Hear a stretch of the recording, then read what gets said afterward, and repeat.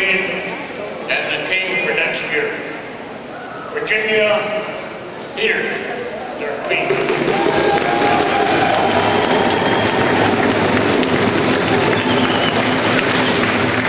John Williams will be reigning.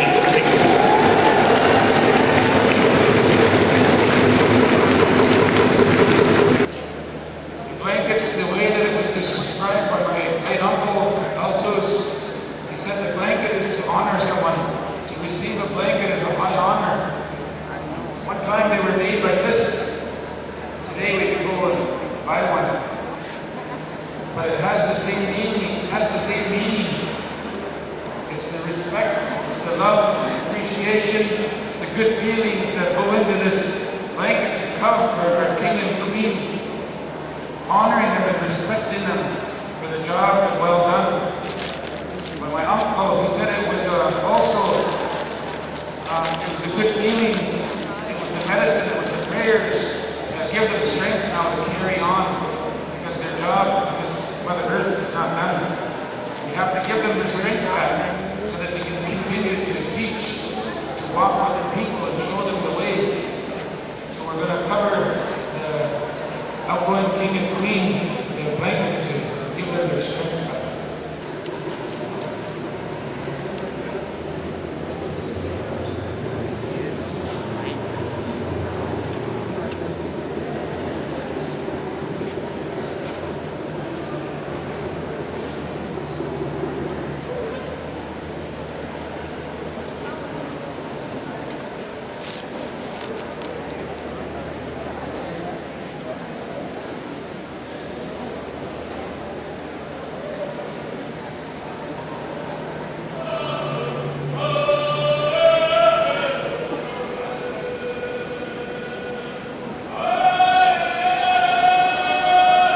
King the King.